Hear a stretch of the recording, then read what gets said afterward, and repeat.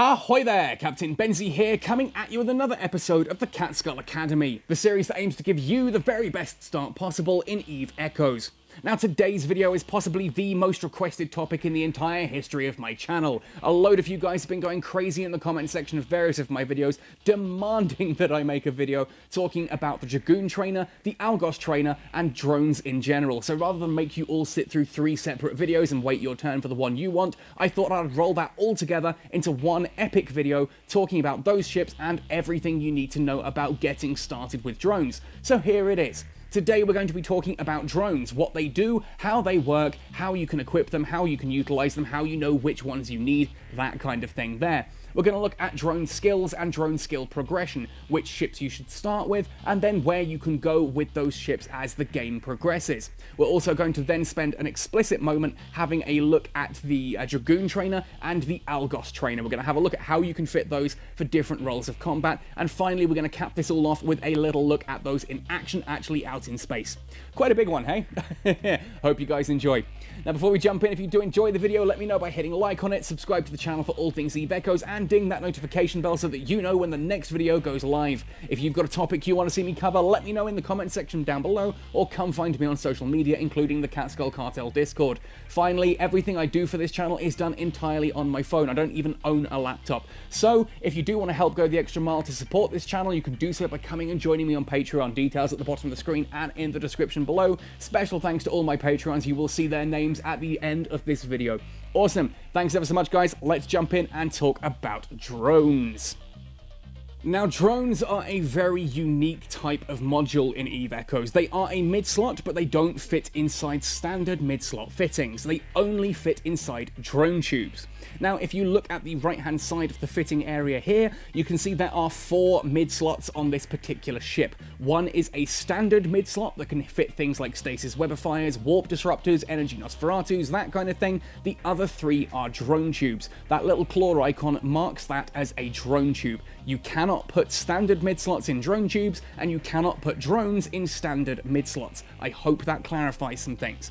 If you have a look at the Dragoon Trainer's stats, you can see here on immediate glance on the left-hand side of its stats there, three drone tubes, then two high slots, one mid slot, three lows, that kind of thing. You can see the three drone tubes mark this out as a drone ship. Now, when we tap on one of those drone tubes and actually have a look at it, you will see that there are three different sides.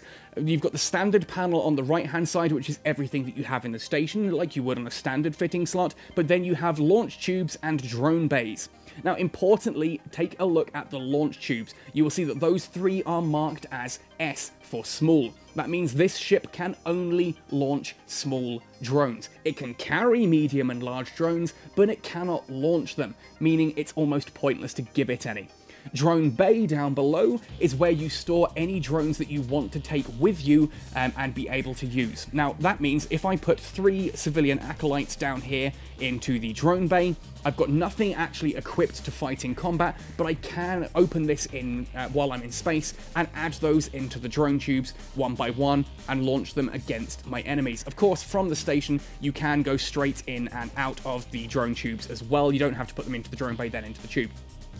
The way that this works ultimately is you can see the drone bay capacity at the bottom there is 300 meters cubed. Now, whilst I can only launch three drones, and I can only have three in space at any one time, I can have additional drones in the drone bay whilst I'm out in space. This allows me to change things up quite nicely.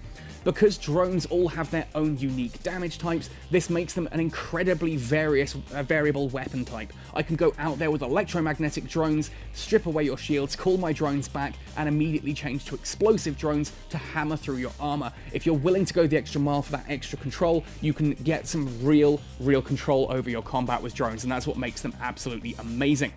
So let's, so let's now actually look at some individual drones and their statistics to get an understanding of how they operate. Now here on the market you can see that the drones are under mid-slot and then drones.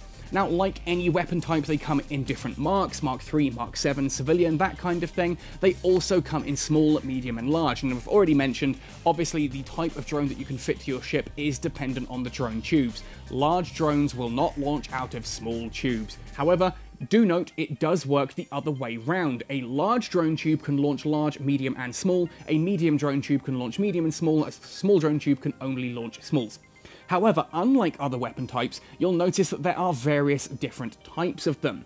Not just the marks and the smalls, but here, like you can see, there are Amarr Acolytes, Caldari Hornets, Gallente Hobgoblins, and Minmatar Warriors, and ultimately, these have different stats any drone ship can use any Empire's drones. Just because the Amarr, uh, the Amarr Dragoon is an Amarr ship doesn't mean it can only use Acolytes. You can fit Hobgoblins, you can fit Warriors, you can fit Hornets into a uh, into any drone ship. Ultimately, being an Amarr ship, I can still put uh, Minmatar drones into my Amarr Dragoon. But anyway, let's have a look at the actual stats and how these differ.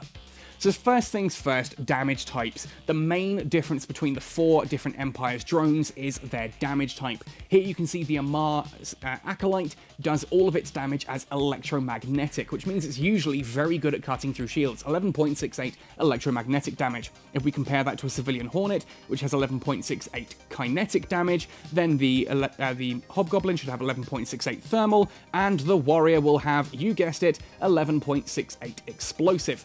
That is the damage type, and that's what I mean when if you're when I say if you're willing to go the extra mile with controlling your drones, bringing them back, and sending out the correct drones for the job, you can really do some crazy, crazy damage. If you see that a ship is down to its armor, hit it with a drone that does damage that is not absorbed by that armor. If you see that you're going up against something with heavy shields, send out the Amarr drones, send out the ones that will cut through shields like butter.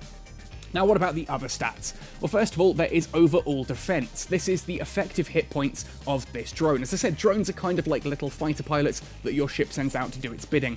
268 effective hit points. Drones can be destroyed. If they are destroyed, they are gone. That is why you need to have more drones in your drone slot, uh, in your drone hold, sorry, that you can then replace any ones that have been destroyed. Otherwise, every time someone shoots down your drones, they are massively reducing your damage.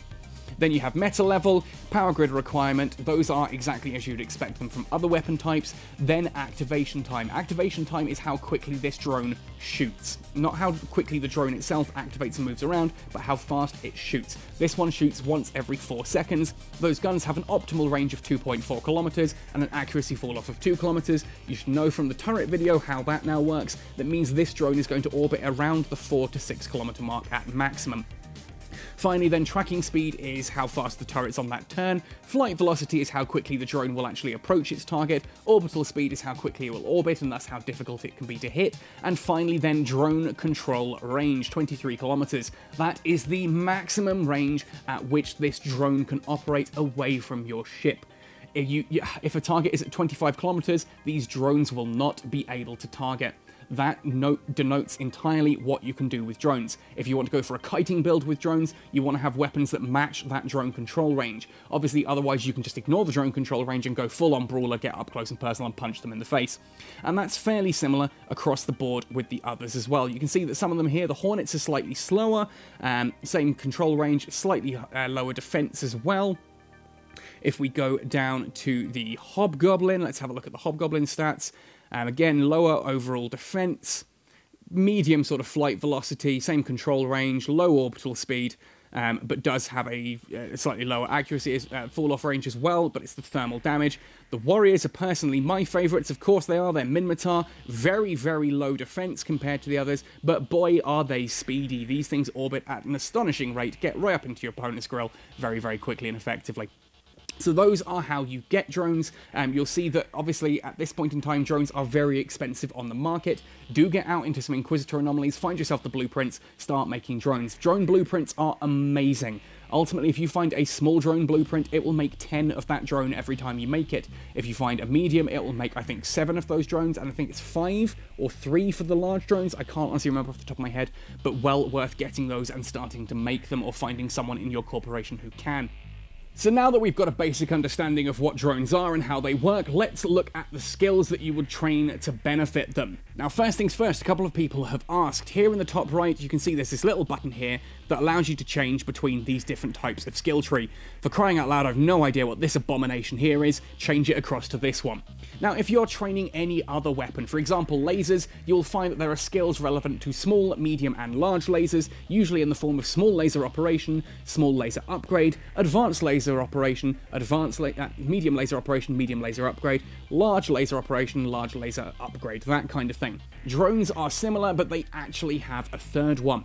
Of course, there is still small drone operation, small drone upgrade, medium drone operation, medium drone upgrade, large drone operation, and large drone upgrade, but there is also drone simply named drone. This is a very important skill for the drone pilot for two simple reasons. First of all, drone control number.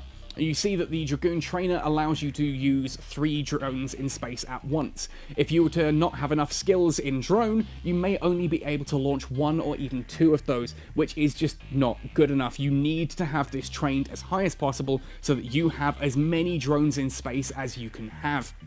Secondarily, it also increases drone control range, which gives you that extra little distance. Now, when we were looking at the market, you will have seen that those drones all showed 23 kilometers. That 23 kilometers is simply because I have drone control range up to level 3 here, plus 3 kilometers. You can also rig for this, and there are fittings that help with this as well, but 100% focus on the skill. You need drone skill up as quickly as possible. At least get that to level 4, um, possibly even to level 5 in this case for that 300% drone control number. Well worth having. Of course, beyond that as well, there are still the small and medium drone skills. Obviously, with the Dragoon and the Algos, these both use small drones, so it's the small drone skills we're looking at. First of all, small drone operation. This simply increases the damage of your drones. Ultimately, it's a 4% increase per level, with um, a tracking speed increase as well coming in from level 3 onwards. I would get this to level 4 as quickly as possible, then train upgrade to level 4, then come back and get this to 5. If we then go down to small drone upgrade, this is a very similar one. Again, it's small drone damage and small drone accuracy fall off. Straight up DPS increase from both of those, plus the optimal range just means your drones are able to actually start shooting a little bit earlier and they can orbit a little bit better. They're just they're going to hit with their target. They're going to hit their targets more. Is the point of that? Again, small drone upgrade to four, small drone operation to four, then go back and get each of those to five. Do get drone up to four first. I would ultimately go drone to 4, small drone operation to 4, small drone upgrade to 4, then drone to 5, small drone operation to 5, small drone upgrade to 5, and then start going into the uh, into the advanced if you are an Omega. Now, of course, there are other things that are going to be important as well when it comes to actually using drones. Um, they are not the only weapon skill on your, the only weapon fitted onto your ship. For example, looking at the Dragoon, and what an excellent way to segue into talking about how to fit this thing, you can see that I have put lasers on it. Ultimately, the main reason I've gone for this is down here. Destroyer command bonus level will give you an increase to Energy Nosferatu optimal range, Energy Neutralizer optimal range, and small laser damage. That means if you have 5 levels in Destroyer command, you are going to have plus 25% small laser damage. Of course, you can fit missiles on there. You can fit uh, railguns or even cannons onto here, depending on what you want to achieve. And when we actually have a look at the Algos trainer in a moment, you'll see that I have done that because I'm ignoring the skills. Now here though, because this does have that small laser damage, I am equipping lasers into the high slot. I'm also going for a kiting build. These drones we know can operate at a range of 23 kilometers. I don't want to be necessarily as up close and personal as possible.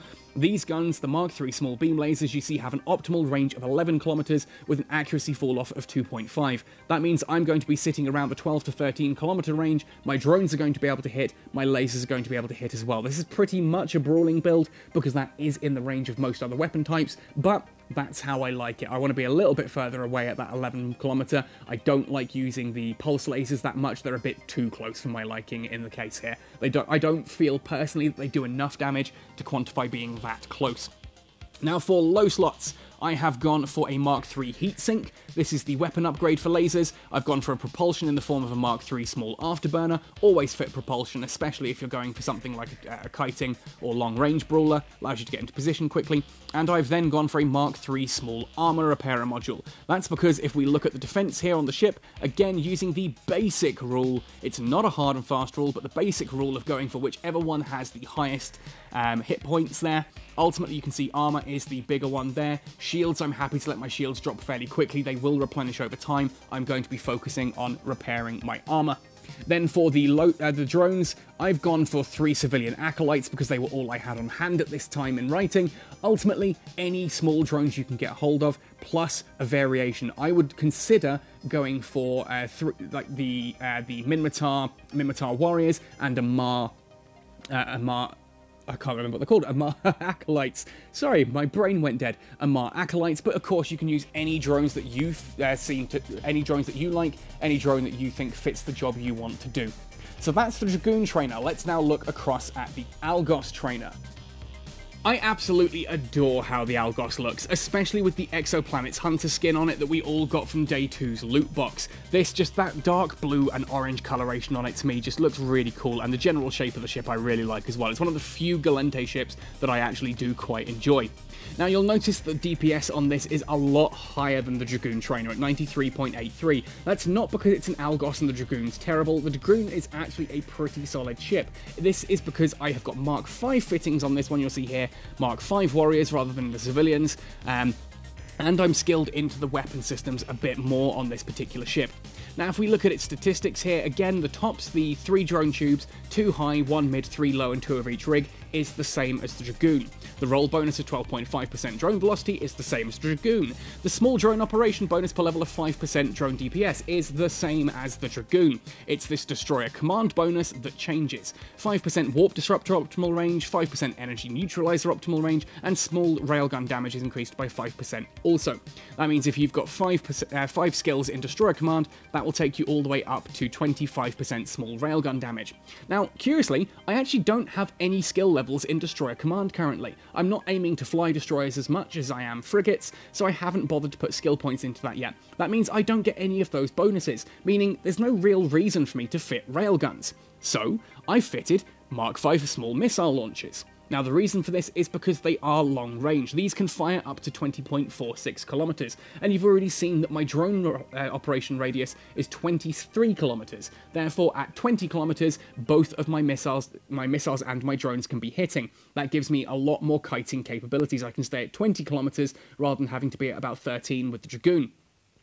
I've also skilled into missiles. Missiles are something I've been using for my Talwar, uh, my Kestrel, my Breacher, that kind of thing. So I have skill points in those, which means I get extra damage, extra range, that kind of thing there. I've basically built this for what I'm personally using. Now the low slots then are essentially the same as you saw for the Dragoon, but I have swapped out the heatsink for of course a Mark V ballistic control system, simply because that is the same thing, it's a weapon damage modifier, um, it's a weapon booster, but it's the one for missiles rather than the ones for lasers. Now, a couple of people have also asked how on earth you get started with drones. What if you don't have either of the Algos just yet? Well, that's where the Tristan comes in. The Tristan is actually the earliest drone boat that you can get in Eve Echoes and is available at tech level 3. It's also seeded at every single one of the ITCs for a paltry 125,000, so you can get access to this pretty early on and use that for running the encounters etc until you get yourself either an Algos or a Dragoon depending on what you ultimately want to skill into. Now if we look at the Tristan stats, you can see again it's two, uh, two drone tubes, two high slots, one mid, two lows. It gets bonuses to drone DPS and drone HP based on your small drone operation skill, and Frigate Command gives it small railgun tracking speed. Now, ultimately, if like me you're going into frigates, then awesome, fit some uh, small railguns on there because you've probably got Frigate Command leveled up a, a fair bit as well. That said, if you're not going into frigates and you're just rushing up to something like um, the Dragoon or the Algos, then equip this with whatever it is you want to use. You've just seen my Algos, so here I've got Mark III small missiles because that's what I was using on this at the time. It was the first drone ship that I was using.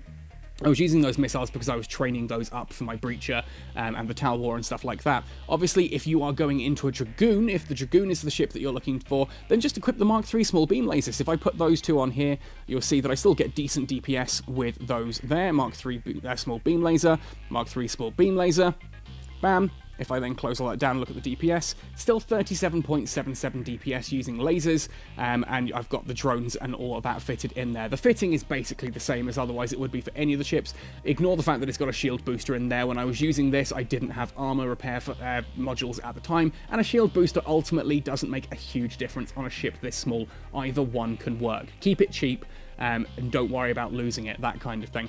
So that's the Tristan. But then where do you go from there? Because of course you can start off with drones with the Tristan um, and then go into something like the Algos or the Dragoon, but what about the larger variants? Well, this all depends ultimately on whether you want to stay with small ships, and if you want to stay with small ships, I would personally go with either the Gallente um, Algos line, start with the Algos Destroyer, go, uh, the Algos Trainer, go to the Algos Destroyer, Then eventually the sniper and the assault. The assault is a fantastic small drone boat. Um, lots of very useful stats there, some very high damage output from this thing, great for ratting and great for PvP. But also, don't be afraid to have a look into the Guristas Pirates line. The Worm is an insanely powerful ship. You can see their small drone damage is up 175%. Um, small drone he uh, health points are up 200%. As basic, unskilled. You then get additional damage, additional drone control range, and missile and torpedo. Can you kind of see why I'm skilling missiles and torpedoes? Yeah, it's because I'm going to be aiming for a Worm. That would be my end game. Go through small, um, start with the Tristan, go into the Algos line or the uh, or something like the Dragoon, then finish off in the Worm. Now, if you're going into the medium, then perhaps you might want to finish with something like the Gila, uh, or under the Gallente Federation as well, there is the Vexor line of ships. Now, you can get a trainer Vexor on, I think it's day 5. Um, you can have a look at one of those. You get that for free if you're an Omega subscriber. That gives you drone DPS and an inertia modifier for cruiser command. This is a nice, very easy ship to fit out. Shove some drones in there, and because they're medium drone tubes, you can fit smalls in there as well. This means, you know, drones are actually a pretty easy thing to level up, because any skills you have in small drones aren't wasted as soon as you go to medium or up to large.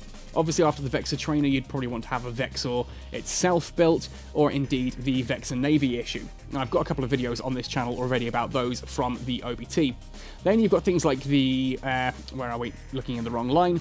Once you hit large, head up to things like the Dominix Battleship. Again, drone DPS, drone optimal range, drone tracking speed, and drone control range. This thing is an absolute beast with those large drones. That will rip apart other battleships of a similar size using large drones. Again, looking at the Guristas Pirates, these guys love their drones. There is a battleship up here with the Rattlesnake as well. That large drone damage of 425% bonus is, quite frankly, terrifying, especially if you're skilling into that and missiles as well, because you get all the missile damage and that down here as well for having those bonuses. I would, however, be remiss for, men uh, for mentioning, uh, for not mentioning, sorry, the Sisters of Eve tree as well. These are great little ships for using drones. They're more about the exploration in that they can fit covert cloaking devices, but they are all about their drones and things as well. As you can see here, additional drone DPS, hit points, and armor resistance is there as a bonus for advanced frigate command.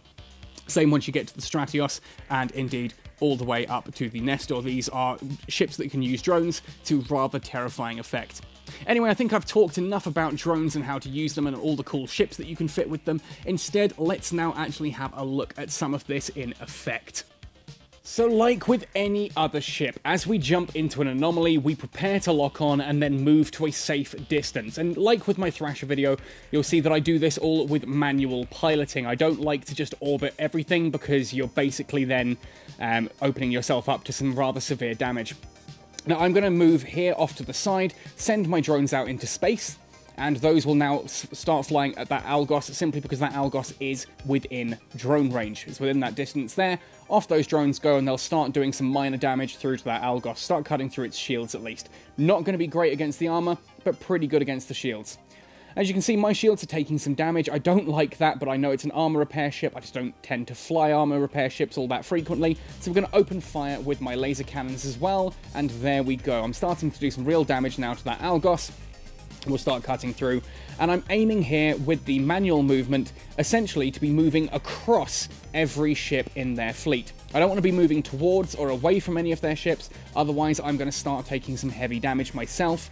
Um, it makes me an easier target to hit. Moving across, especially with some propulsion on like this, means I can actually keep a little bit of distance and keep, uh, makes me a harder target to hit. But there go my shields.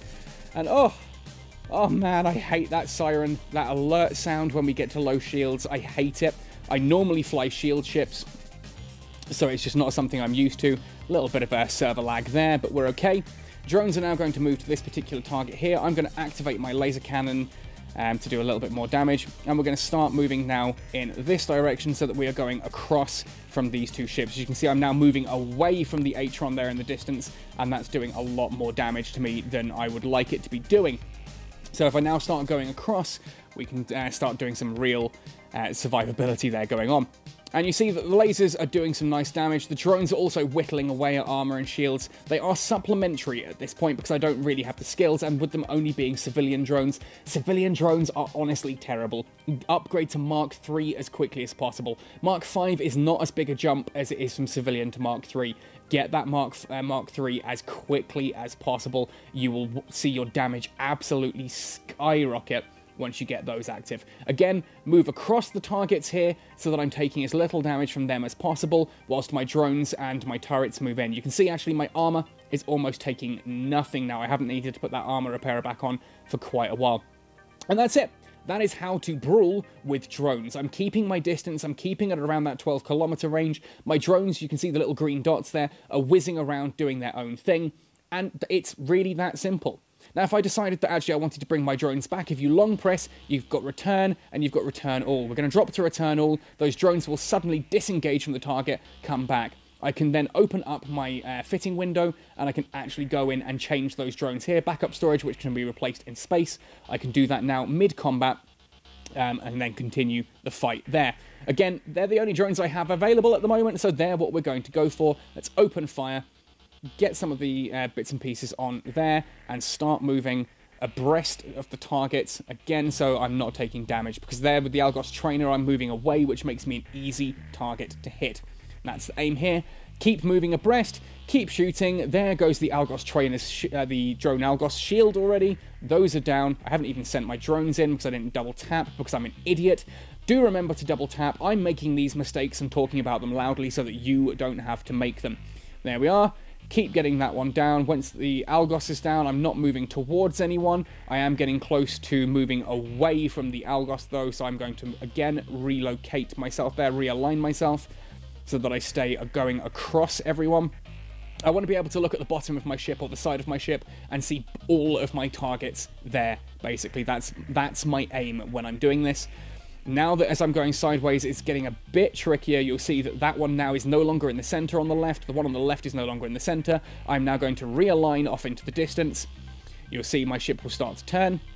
When my ship starts to turn, again, I turn sideways, and as long as I'm going across the target, again, I'm now a hard target to hit, and I'm comfortable with that position. Let's put the armor repair on just for a couple of extra uh, ticks to get that up now.